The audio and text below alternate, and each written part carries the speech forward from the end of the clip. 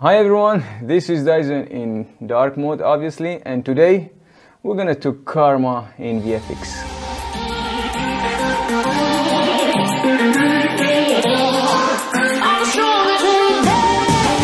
All that coming up.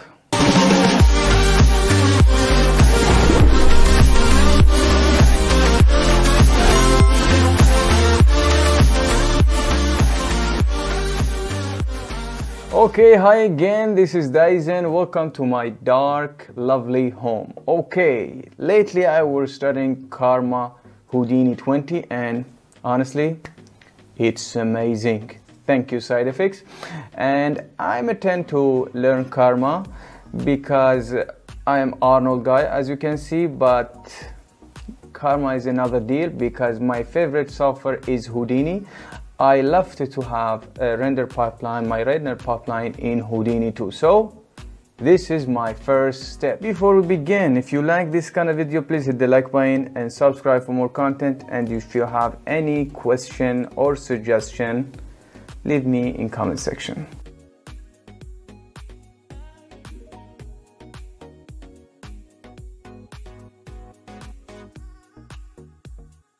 Okay, here's the plan. If you know me, I love Face VFX, you see that?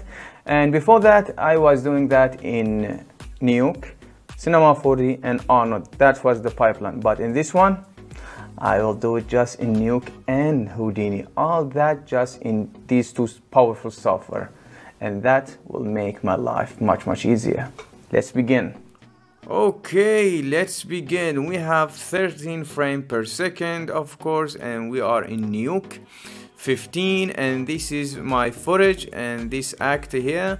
And of course, first, if we have this 3D camera tracker, uh, it will be useless because the background is not having any track or any mark for the camera. This is unfortunately, we don't have this one. So Instead of that, we will go straight over to Keen Tools Face Builder. And of course, we're gonna lay down a non-animated camera, of course. And we're gonna build our face and track that. And by the way, if you're not familiar with this workflow, you can see this video here. I explained that here. And yeah, let's skip this process.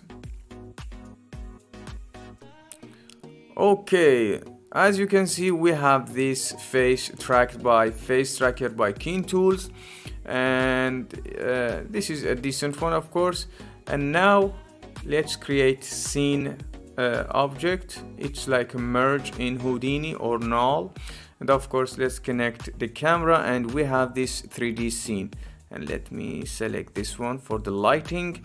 And you see that we have this 3d model. We're gonna uh, export that as a alembic using right go okay that's awesome. And of course we're going to select the path we're not uh, we're not doing that axis and we're going to change the type and we're going to render that in the range. Okay in houdini on the other hand we're gonna have this alembic uh, file here. Let me show you. Okay I have hard time to focus on this one. Come on. Okay we have this uh, model as you can see. The animation is here and of course let's set the range and frame per second fps make sure to match this one. You see that? Okay we have this model. And of course we have this point. We don't need that of course. Let's fix that. We're gonna disable the SOP of course. And let's uh, clean that by clean node and voila we have this basic uh, geometry to work with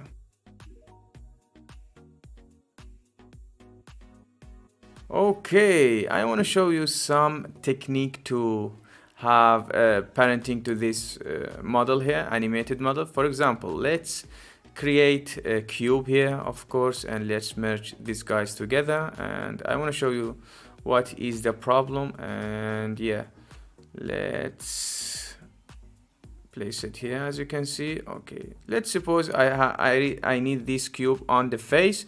And you see that when it's uh, playing or moving the cube is not move, moving with that. This is the first reason we need the parenting. The second one if we let's suppose if we have this VDB model and maybe VDB reshape let's suppose we want to go with VDB modeling here.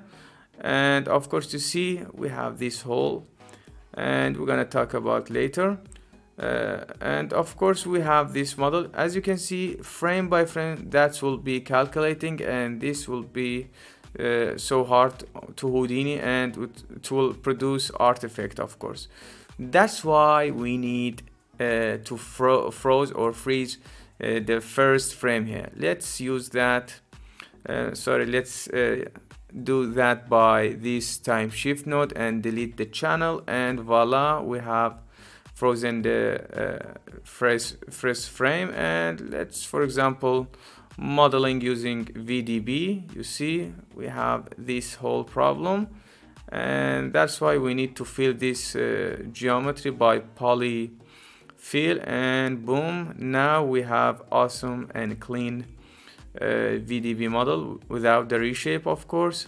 And now the VDB combine will uh, work uh, correctly here you see that? And I convert that uh, to the polygon and you see?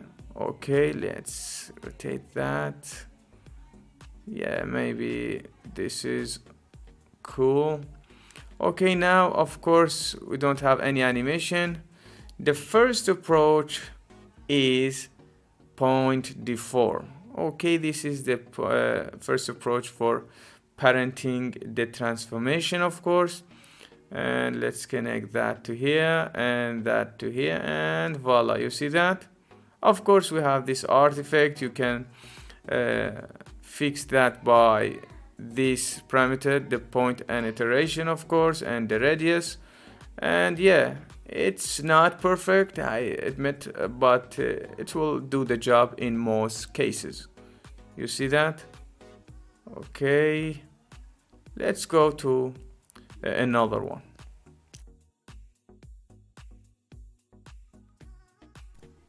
The second approach, of course, let's uh, show you here. For example, we have this uh, mobile device or any object you can uh, bring in Houdini and if we merge that sorry if we merge that here of course and you will see let me place that correctly. Quick one okay. Maybe in here. And if we uh, use the point deform unfortunately this mobile device or the object will deform based on the face animation. We don't need that. So for that as you can see we're gonna use another approach. Let's delete that uh, and let's copy this alembic because we need the transformation inside that node. And by that I mean let's change that to transform only. We have this axis. Of course this is uh, two of them. Let's select uh, the mesh object uh, sorry the geom uh, the face object and we have this axis. Of course this is just a point with a point position. It's not helping. We're gonna extract the transformation from that. Boy this is so handy. Thank you Houdini. And of course we're gonna have a raised frame here and let's delete that. Make it one. Of course we have the transformation. You see that? That represent as a one point and that's cool now we need to bring of course this is the point we need to bring this transformation or apply that to this mobile device. We're gonna use a, tra a transform pieces. Sorry where are you? Transform pieces of course okay. We're gonna select that in here and you see where are you? Okay let me show you. We have some movement. That's awesome. But let's merge these guys together and see what we got here. And yeah we have some issue. Of course we need to invert this transformation and voila. Man this is awesome approach. And of course let's have a comparison between this method. This is the extraction transformation. And this is you see this is a point deformation. You see it will mess up uh, the mesh so be careful to choose uh, uh, with these uh, two method. Of course we have another method called xform if you guys interested let me know in comment section. Okay, let's begin with Solaris and Karma in Houdini. Man, this is my first experience here and I loved it, honestly. Okay, let's begin to go to stage here and of course we have this scene graph tree and scene graph details you can access here of course in any window. And let's lay down SOP import or SOP import. And of course uh, we have this object as you can see. And let's delete the merge and let's have a null to make them clear here and let's name that to head copy paste. And this is mobile for example. And yeah and let's go to Solaris again and let's see what's happening here. Okay let's first import the head. Okay we have the head and as you can see in scene graph we have uh, this path and you see if I change that it will uh, change uh, the name and the mesh. Of course for this warning you can merge that in sub layer and for the mesh name it will take that from name attribute. Let me show you if we have this name attribute here. You see that's changed. Of course we can uh, rename that to face or anything here this is the name attribute. By primitive of course the path is doing the same thing. Okay? You see that? And of course let's copy that in here. And mobile of course uh, but we're gonna delete that because in FBX we have the name attribute. I forgot that and let me show you in explode view. You see that? We have these objects and of course if we import that here let's copy paste that and rename that to mobile. Lovely and this null and you see that? We have these all meshes meshes here sorry. And let's merge uh, these guys together. And yeah you see we have our geometry and the mobile device. That's awesome. This is how solaris work and of course uh, let's have sublayer. I want to import uh, the camera in this alembic of course but we have this mesh with it. We're gonna delete that by stage uh, yeah okay sorry stage manager. And of course you see all this uh, stage here is available in here. And of course we're gonna delete or rename the object here. This is the manipulation and now let's merge these guys together and boom we have our camera. You see this is the tracked camera from Alembic. And now of course we're gonna edit this camera by camera edit and let's uh, drag that here and let's override this parameter background uh, image and you see voila this is my first step and now of course we have this one. Let's have a karma. This will add karma setting and USD render by default with these awesome links. And let's have our camera assigned here. That's awesome. And of course let's check that to manual. Of course we have this resolution you see. Soon as I apply that we have this issue. We're gonna fix that with focal length. I don't know uh, this is a bug or not but I, I fixed that by this focal length. You see that? Now we have everything set. Okay. This is lovely. And of course we have this animation. Now let's have a decent lighting. I want to use Dome light for this one. Uh, but yeah without the merge let's have a Dome light here nice. And of course we have this one. And let's go to XPU Karma. And yeah let's have a HDRI I. Have one here. Okay maybe the exposure and intensity. And yeah you see that? We have decent lighting here. And man the Karma XPU it's faster than Arnold in my opinion because I'm Arnold guy. And let's uh, fix something here. This point issue we have you see. Let's delete that quickly. By delete node and yeah. Let's back let's go back to the XPU Karma and of course we have this one and you can see here uh, we have this setting. I want to change that to Karma XPU and we have this denoising. I will go with uh, OptiX not Odin Intel and of course decent sample. And we have of course uh, this path EXR as you can see. We're gonna export that in here. And let's have a render test here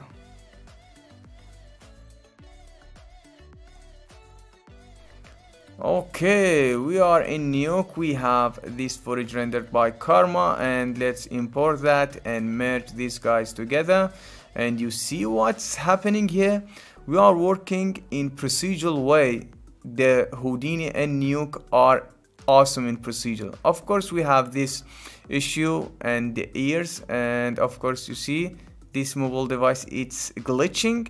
Okay, we will fix that uh, in quick way here. Of course you see the uh, ears it will disable by this one. And of course let's go to the res result and let's have this axis export. This is a null object contain the transformation of the uh, head. And let's enable axis here and let's export that. You see? That's awesome. Because we are working in procedural way in here everything is updating. You see the pipeline is updated and you see the ears it's gone. The weird geometry it's okay. We don't need that. And of course instead of this object we're gonna use the axis we exported okay let's select that. And this is our null. And let's enable Maya locator. This is how thing work. And let's reset that and let me show you what's happening here. Sorry okay. We have this transformation. And now let's merge it together. Okay. And you see uh, I guess the problem is gone but let's have a test render. Let's go to the stage and let's okay let's go to the camera and everything is okay and let's have a test render and this is the result. As you can see the problem i guess it's gone and this is the before and after. You see the ears and the mobile device glitching is gone. And yeah with that this is the uh, first step to the karma vfx and in the next tutorial of course we're gonna talk about more lighting and uh, more uh, AOV, customized AOV of course, Cryptomatte and of course this awesome material, you see that? And the uh, UVs of course for VFX shot and this awesome skin, uh, subsurface scattering. And we're gonna take a look to the Material X workflow of course. Uh, this is uh, Material X workflow because I'm Arnold guy, I'm not going to use Houdini Principle Shader and with this awesome AOV and lot of thing in the next tutorial. With that, have a good day. Goodbye.